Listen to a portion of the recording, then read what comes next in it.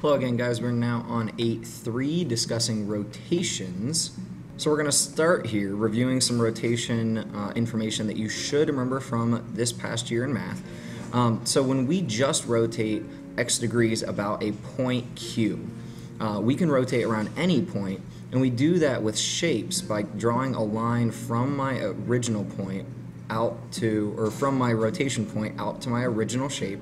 And then I go that many degrees, however many degrees I've been told to rotate, and I draw that line and it's the same distance away from that rotation point and then I get my prime point there. I can do that with u and w to get my u prime and my w prime because every point when we rotate a shape will be rotated the same amount of degrees. So this x degrees, that is what we call your angle of rotation and it maps to our new shape, our prime shape. So we can write it as this type of notation. So it's a rotation of how many degrees around what point. And if that's point O, that is the origin point. So if we were to come here, and use point P as my center of rotation and rotate 60 degrees. Now you can really go either direction. I think it'll be easiest here to go counterclockwise, uh, but give it a shot. Go ahead, pause the video. You're gonna need a protractor for this unless you're very good at approximating uh, degree measures. So we should then get something like this where if I draw my line to A and then I draw another line to A prime, that, that degree rotation will be 60. Same if I go from D to D prime or B to B prime, all of these should be 60 degrees in the counterclockwise direction. Now remember, it's um, kind of tricky, but a positive rotation on the coordinate plane goes in the counterclockwise direction.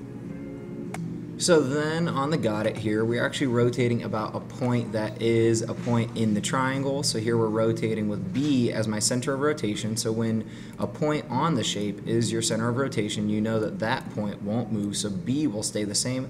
Everything else will rotate 50 degrees. And because it's a positive rotation, it will go in the counterclockwise direction. So we should end up with something like this. If we traveled in the counterclockwise direction, that means that we came uh, well, that arrow is not going to do what I want it to do, but that means that we came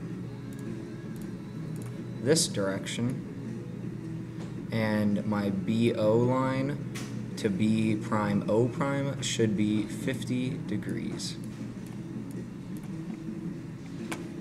So before we move into rotations on the coordinate plane, these rules need to be written down in your notes. They need to be on your homework. They need to be all over the place because honestly, these are the most important rules for when we're rotating about the origin. Now, highlight, underline, star, something that this only works if we're talking about the origin. So if it's a 90 degree rotation, again, that'd be positive rotation counterclockwise. The only thing that happens is your X and your Y flip places and your y becomes negative. In a 180 degree rotation, not only do the x and the y flip places, but they or they don't flip places, but they both become negative. And then in the 270, your x and your y flip places again. However, your x becomes the opposite of what it was. So make sure that these rules are written down somewhere before we dive into the coordinate rotations. So this section right here goes through why, in fact, uh, we have those rotation rules because if we did a 90 degree positive rotation, see we're going counterclockwise here, takes my 2, 3, it flips them around and makes the y the opposite of what it was. With my 180 degree rotation, all it does is make both of them negative. So my positive 2, positive 3 becomes negative 2, negative 3 in a 270 degree. A lot of people will mistake this and call this a 90 degree, but we're going in the positive rotation, so we're going counterclockwise. Um, so it flips the places and makes your um, old x or your new y value the opposite of what it was. And of course, the 360 degree rotation just brings you back to right where you started. So go ahead and try to rotate FGHI on your own. You know that it's a 270 degree rotation, so you can use a point-to-point -point method or whichever method you want.